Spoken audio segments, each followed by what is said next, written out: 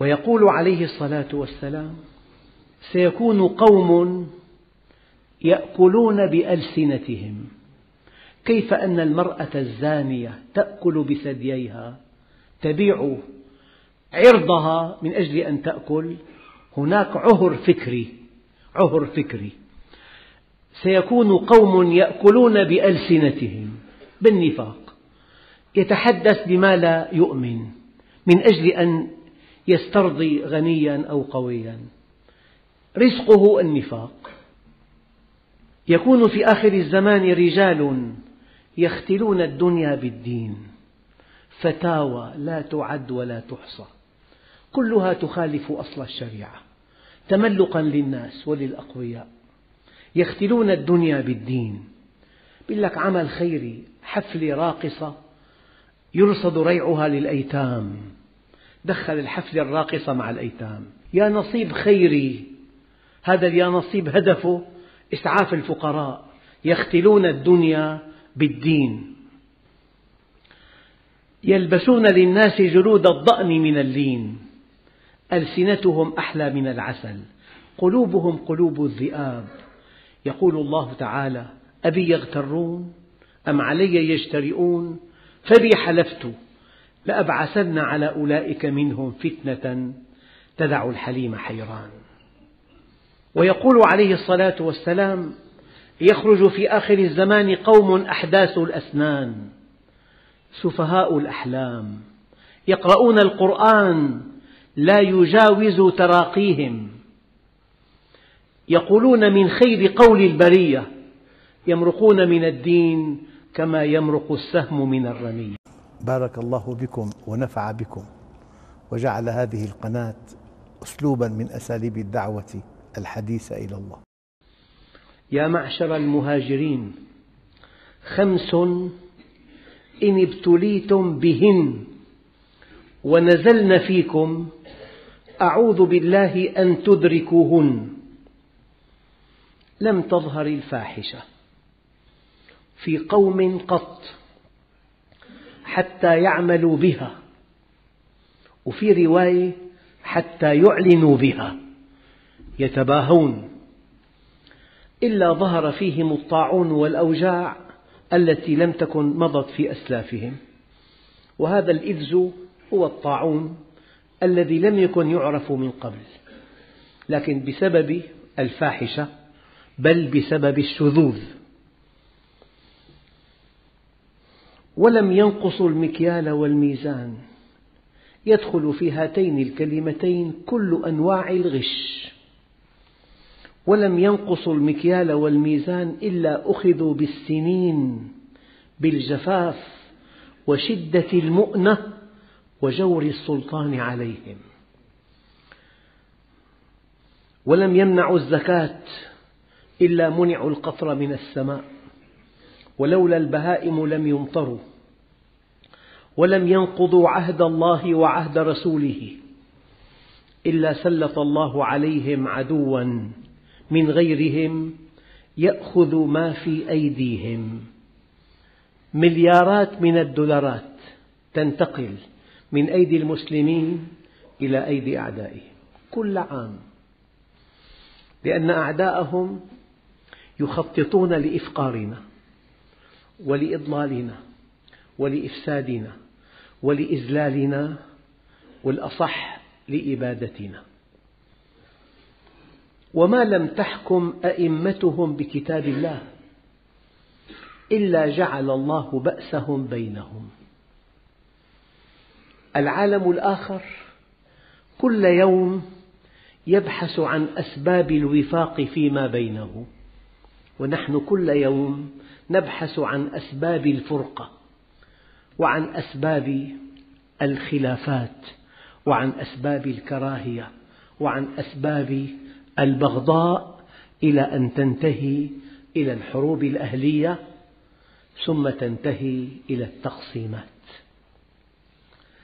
أيها الإخوة الكرام عن أبي ذر رضي الله عنه قال عليه الصلاة والسلام إذا اقترب الزمان يعني اقتربنا من قيام الساعة كثر لبس الطيالسة وكثرت التجارة وكثر المال وعظم رب المال بماله وكثرت الفاحشة وكانت إمارة الصبيان وكثرة النساء وطفف في المكيال. كثرة النساء في الأماكن العامة المقصود. في كل مكان في كل وقت في كل طريق في كل سوق. ويربي الرجل جروا خير له من أن يربي ولدا. ولا يوقر كبير ولا يرحم صغير. ويكسر أولاد الزنا. حتى إن الرجل ليخشى المرأة على قارعة الطريق. ويلبسون جلود الضأن الدبلوماسية على قلوب الذئاب. أمثلهم في ذلك الزمان المداهن يبدو لبقا وذكيا وحصيفا وعنده حكمة المداهن الذي يبيع دينه من أجل دنياه.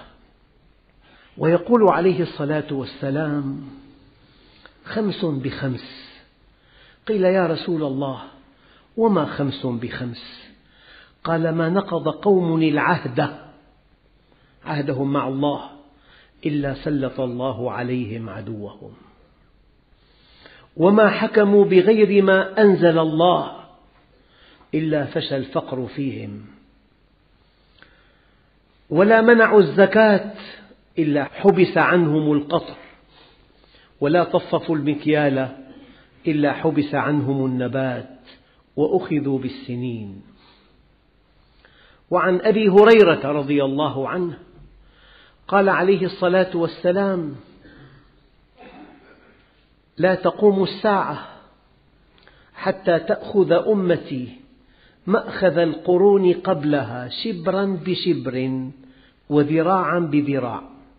قيل له يا رسول الله كفارس والروم قال من الناس إلا أولئك؟ يعني عاداتنا تقاليدنا ألبستنا بيوتنا احتفالاتنا آلامنا أفراحنا مناهجنا.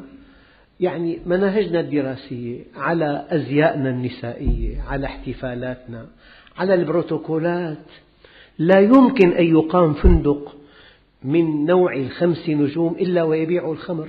لأنه هي منزلة بالقرآن لأنه يعني إذا ارتدى الشباب هناك الثياب المرقعة ارتدينا الثياب المرقعة.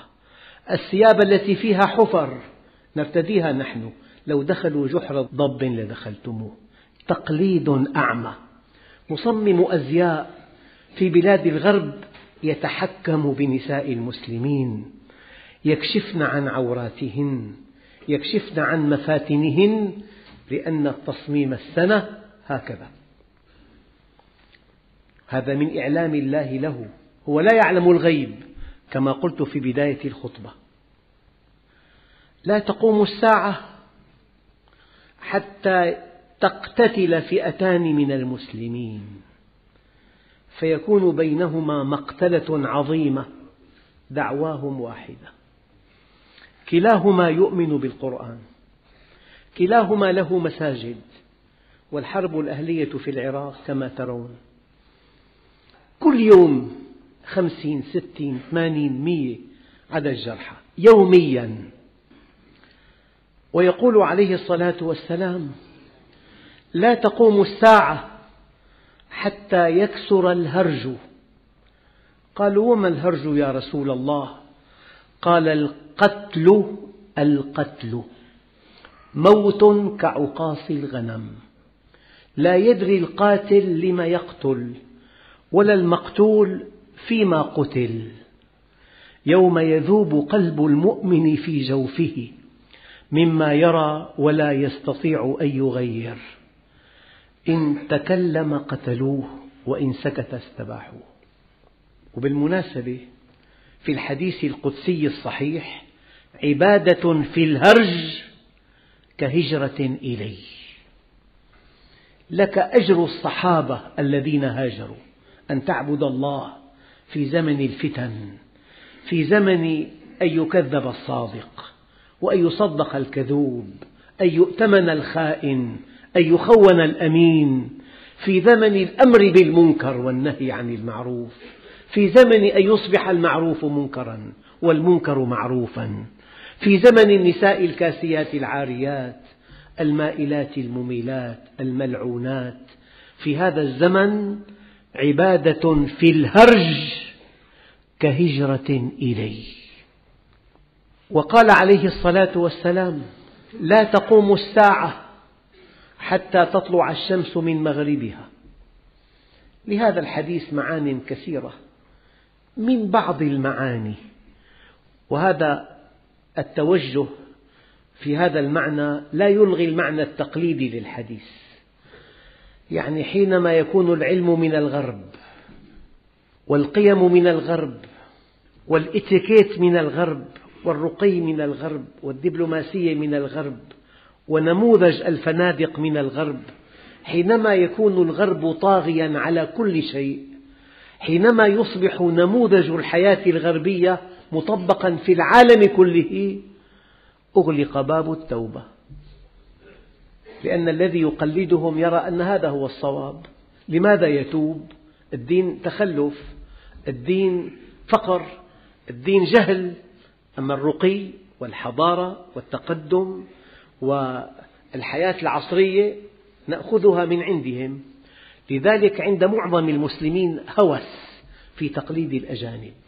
لو دخلوا جحر ضب لدخلتموه. لا تقوم الساعة حتى يكون أسعد الناس بالدنيا لكع ابن لكع. يعني تاجر مخدرات. بيوت وسيارات ومركبات وطائرة خاصة تاجر مخدرات. الربح أكثر من مئة ألف ضعف. يعني كيلو المخدرات من مكان زراعته يباع بمئة ألف ضعف في مكان استهلاكه. هؤلاء الذين يعيشون على دماء الناس. تجار السلاح.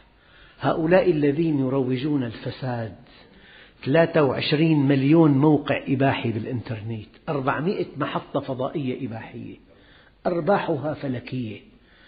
من يدير هذه المحطات ومن ينشئ هذه المواقع ومن يدير الملاهي والنوادي الليلية طريق صغير في تسعين نادي ليلي.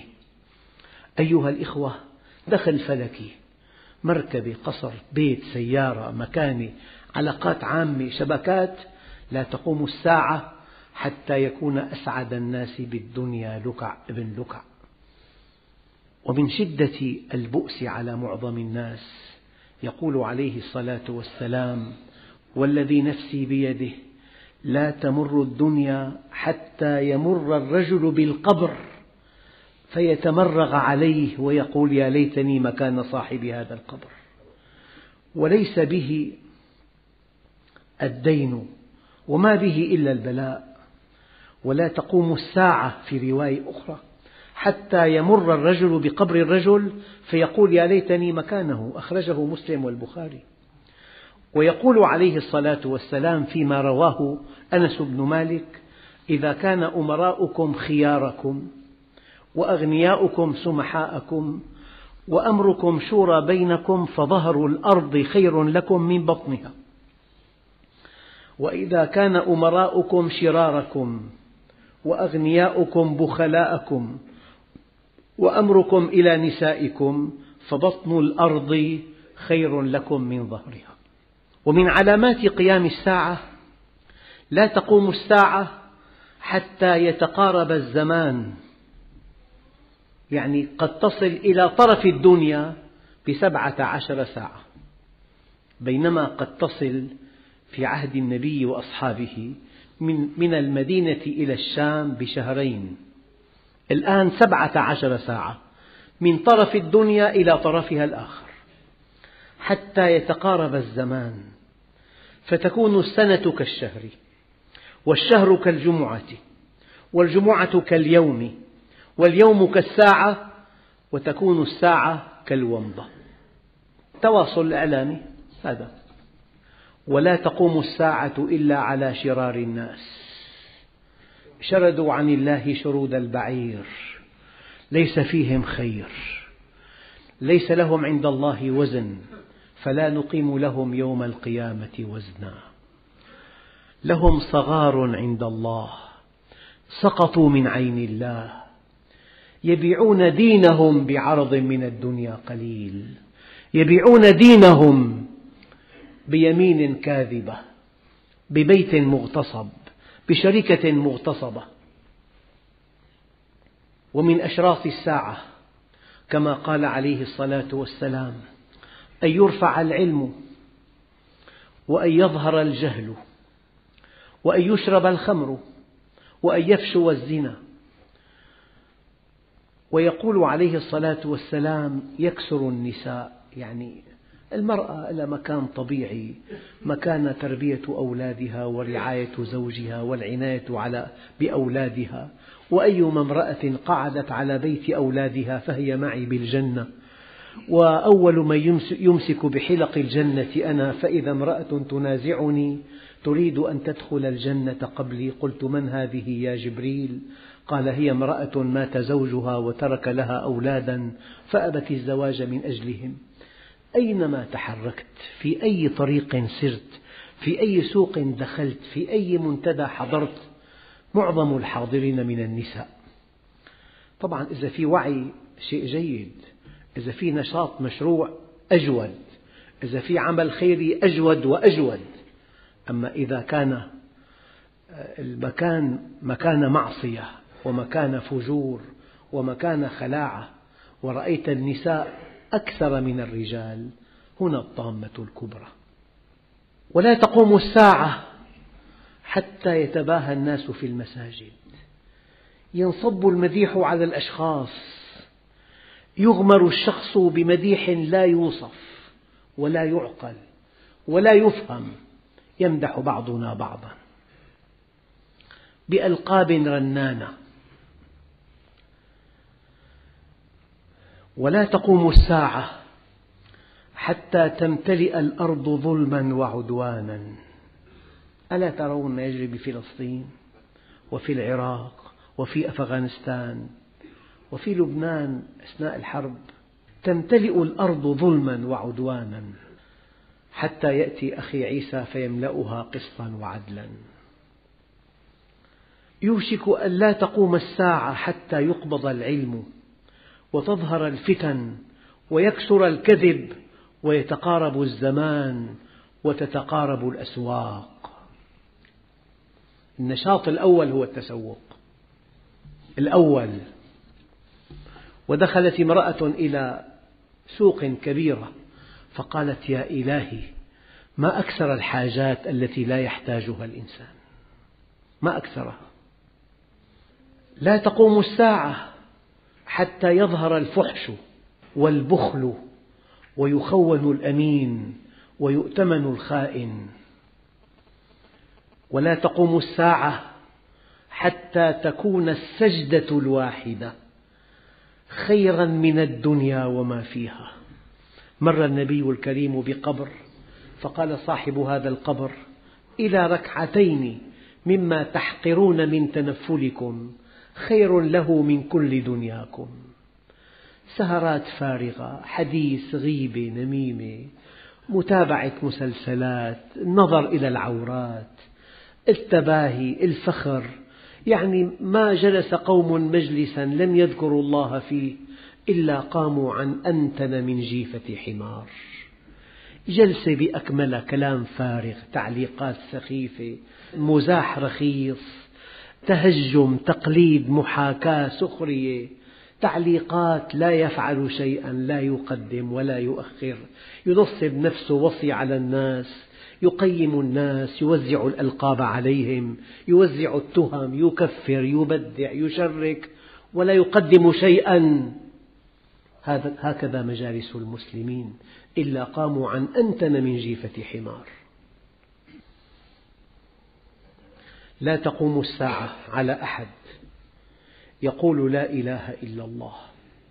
وفي حديث آخر لا تقوم الساعة حتى لا يقال في الأرض الله. والله حضرت مؤتمرا مؤتمرا للأسرة. والله في هذا المؤتمر نخبة من علماء النفس والاجتماع في العالم العربي. والله الذي لا إله إلا هو. أول يوم كان في ثمان محاضرات واليوم الثاني أربعة وما ذكر أحد كلمة الله ولا الإسلام ولا الدين أبدا.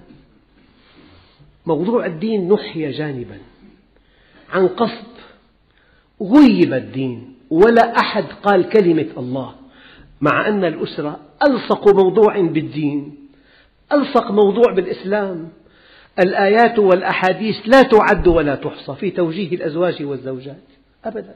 علم نفس علم اجتماع ونستورد العلوم من عالم إباحي ملحد. قد يأتي طبيب نفسي بماذا ينصح الشاب المريض بأن يكون له صديقة؟ صديقة خارج نطاق الزوجية. هكذا تعلم هناك. إذا لا تقوم الساعة حتى لا يقال في الأرض الله. بأي لقاء بأي اجتماع بأي بحث بأي ندوة لا يطرح موضوع الدين أبدا. أبدا. ولا تقوم الساعة إلا على حثالة من الناس. هم بطنه هم فرجه هم المتعة هم الرحلات هم السفر هم الوجاهة هم الكبر. هم حوزة أكبر مبلغ من المال ليستمتع به. ولو بنى مجده على أنقاض الناس ولو بنى غناه على فقرهم ولو بنى قوته على ضعفهم ولو بنى أمنه على خوفهم ولو بنى حياته على موتهم. لا تقوم الساعة حتى تروى الأرض دما. كل يوم بقع الدم بمساحات كبيرة على السيارات على الطرقات بالمستشفيات بقع الدم والقتلى حتى تروى الأرض دما ويكون الإسلام غريبا. لا تقوم الساعة حتى يكون كتاب الله عارا. ألم يدل الناس في أمريكا؟ ويتقارب الزمان وتنقض عراه عروة عروة. يتهم الأمناء يصدق الكاذب يكذب الصادق يكثر الهرج. قالوا وما الهرج يا رسول الله؟ قال القتل ويظهر البغي والحسد والشح وتختلف الأمور بين الناس ويتبع الهوى ويقضى بالظن بالظن ويقبض العلم ويظهر الجهل ويكون الولد غيظا. والله مئات الإتصالات يشكون من أولادهم. أولادهم عبء عليهم. بلاء من الله ولد ليس فيه أدب ولا علم يأتي بعد منتصف الليل. يتطاول على أمه وأبيه يكسر ضرب إخوته يأكل وحده يطالب بالمال بكل وقاحة. لا تقوم الساعة حتى يكون الولد غيظا والله إنسان أحبه. له ابن أقسم بالله إذا دهس بمركبة ليقيم مولدا ابتهاجا بموته يكسر كل شيء يبتز من ماله يركب عليه الديون هكذا قال النبي الكريم حتى يكون الولد غيظا والمطر قيظا ويفيض اللئام فيضا إذا إنسان أكرمك يعمل لك صدمة ما الذي حدث؟ الأصل هناك من يبتزك هناك من يقيم أمامك العقبات. يفيض اللئام فيضا ويغيض الكرام غيظا ويجترئ الصغير على الكبير واللئيم على الكريم. قيل ما الذل؟ قال أن يقف الكريم بباب اللئيم ثم يرده. والله والله مرتين كما قال الإمام علي رضي الله عنه. والله والله مرتين. لحفر بئرين بإبرتين. وكنس أرض الحجاز بريشتين ونقل بحرين بمنخلين وغسل عبدين أسودين حتى يصيرا أبيضين أهون علي من طلب حاجة من لئيم لوفاء دين ولا تقوم الساعة حتى يسود كل قبيلة منافقوها. الرواج للمنافق ويقول عليه الصلاة والسلام سيكون قوم يأكلون بألسنتهم. كيف أن المرأة الزانية تأكل بثدييها؟ تبيع عرضها من أجل أن تأكل. هناك عهر فكري عهر فكري. سيكون قوم يأكلون بألسنتهم. بالنفاق. يتحدث بما لا يؤمن من أجل أن يسترضي غنيا أو قويا. رزقه النفاق. يكون في آخر الزمان رجال يختلون الدنيا بالدين. فتاوى لا تعد ولا تحصى. كلها تخالف أصل الشريعة. تملقا للناس وللأقوياء. يختلون الدنيا بالدين. يقول لك عمل خيري حفلة راقصة يرصد ريعها للأيتام. دخل الحفلة الراقصة مع الأيتام. يا نصيب خيري. هذا يا نصيب هدفه إسعاف الفقراء يختلون الدنيا بالدين. يلبسون للناس جلود الضأن من اللين. ألسنتهم أحلى من العسل. قلوبهم قلوب الذئاب. يقول الله تعالى أبي يغترون أم علي يجترئون؟ فبي حلفت. لأبعثن على أولئك منهم فتنة تدع الحليم حيران. ويقول عليه الصلاة والسلام يخرج في آخر الزمان قوم أحداث الأسنان سفهاء الأحلام يقرؤون القرآن لا يجاوز تراقيهم. يقولون من خير قول البرية يمرقون من الدين كما يمرق السهم من الرمية. ويقول عليه الصلاة والسلام يخرج في هذه الأمة في آخر الزمان رجال معهم أسياط كأنها أذناب البقر يغدون في سخط الله ويروحون في غضبه. ويقول عليه الصلاة والسلام سيجيء في آخر الزمان أقوام تكون وجوههم وجوه الآدميين وقلوبهم قلوب الشياطين. أمثال الذئاب الضواري. ليس في قلوبهم شيء من الرحمة. سفاكين للدماء لا يرعون عن قبيح. إن تابعتهم خانوك وإن غبت عنهم اغتابوك وإن حدثوك كذبوك وإن ائتمنتهم خانوك. صبيهم عارم وشابهم شاطر شيخهم لا يأمر بالمعروف ولا ينهى عن المنكر. الاعتزاز بهم ذل وطلب ما في أيديهم فقر الحليم فيهم غاو والآمر فيهم بالمعروف متهم المؤمن فيهم مستضعف والفاسق فيهم مشرف السنة فيهم بدعة والبدعة فيهم سنة عندئذ يسلط الله عليهم شرارهم ويدعو خيارهم فلا يستجاب لهم أيها الإخوة الكرام سأل أحد أصحاب النبي الكريم عن الساعة فقال يا رسول الله متى الساعة؟ قال ما المسؤول عنها بأعلم من السائل ولكن سأحدثك عن أشراطها. إذا ولدت الأمة ربتها.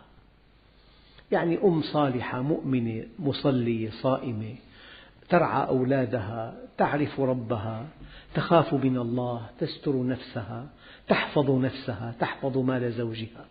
تأتيها بنت تدخل تتثقف هذه البنت. بتقول لك أمي دقة قديمة. أمي ما بتفهم جاهلة. يتفنن الشاب والشابة بالإساءة لآبائهم وأمهاتهم. أن تلد الأمة ربتها. فذلك من أشراطها. وأن ترى الحفاة العراة يتطاولون في البنيان. أيها الإخوة الكرام الأحاديث عن الساعة كثيرة جدا. اخترت لكم أصحها ما في البخاري ومسلم وفي كتب الصحاح. واخترت لكم أبرزها وأوضحها. ولكن يجب أن تعلموا أن ما نعاني منه من خلل في حياتنا ومن فشو النفاق والفجور والفسق والعصيان والكذب والغيبة والنميمة وأكل المال الحرام هذا شيء أخبر عنه النبي العدنان ولكن ليس معنى هذه الخطبة أن تيأسوا. معنى هذه الخطبة أن تحذروا. والله عز وجل يعامل كلا منا بحسب استقامته وعمله الصالح. أنت سيد بيتك وسيد عملك. فإذا أقمت أمر الله فيما تملك كفاك ما لا تملك. ولا تزر وازرة وزر أخرى. الله عز وجل أرسل الملائكة لإهلاك قرية فقالوا إن فيها رجلا صالحا. قال به فابدأوا. ولم يا رب؟ قال لأنه لا يتمعر وجهه إذا رأى منكرا. أما إذا كنت مصلح مصلح وكذلك ننجي المؤمنين. لك معاملة خاصة أبشر ولا تقلق. هذه الأحاديث كلها لا تنطبق على مؤمن. إن عبادي ليس لك عليهم سلطان. أم حسب الذين اجترحوا السيئات أن نجعلهم كالذين آمنوا وعملوا الصالحات سواء محياهم ومماتهم ساء ما يحكمون. أفمن وعدناه وعدا حسنا فهو لاقيه كمن متعناه متاع الحياة الدنيا ثم هو يوم القيامة من المحضرين. أفنجعل المسلمين كالمجرمين؟ ما لكم كيف تحكمون؟ أفمن كان مؤمنا كمن كان فاسقا لا يستوون؟ مستحيل وألف ألف مستحيل أن يعامل الشاب المؤمن المستقيم الذي أقام الإسلام في نفسه وفي بيته وفي عمله. مستحيل وألف ألف مستحيل أن يعامل كعامة الناس. أنا لا أدعوكم إلى أن تيأسوا لكن أحذر أن هذا الفساد العريض الذي ترونه أن هذا الذي ترونه في المجتمعات الإسلامية من توجه نحو الغناء والرقص والفجور والملهيات هذا فيه الطامة الكبرى. فلا بد من أن تسعنا السنة ولا تستهون البدعة. أقول قولي هذا وأستغفر الله العظيم لي ولكم فاستغفروه يغفر لكم فيا فوز المستغفرين.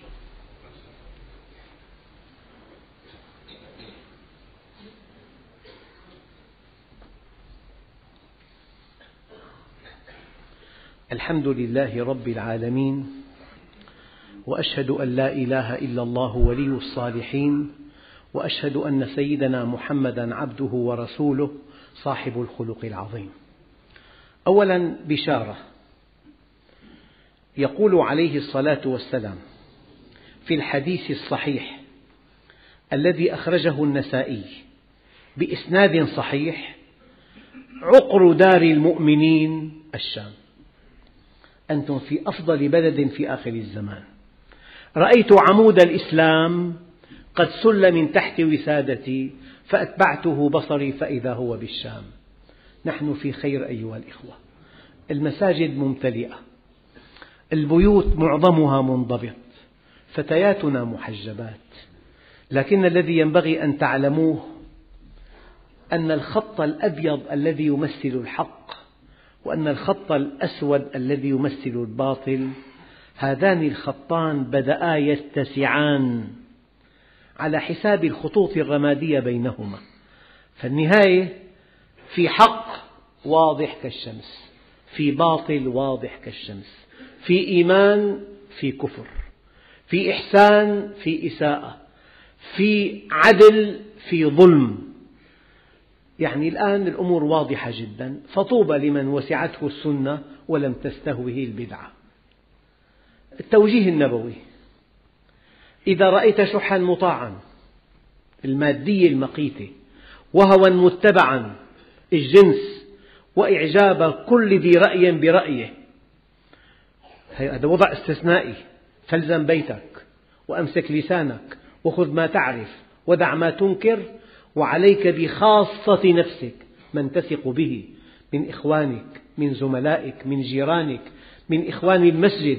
علي هي خاصة نفسك. عليك بخاصة نفسك ودع عنك أمر العامة وفي الحديث الصحيح يقول عليه الصلاة والسلام لا تزال من أمتي أمة قائمة بأمر الله لا يضرهم من خذلهم ولا من خالفهم حتى يأتي أمر الله وهم على ذلك.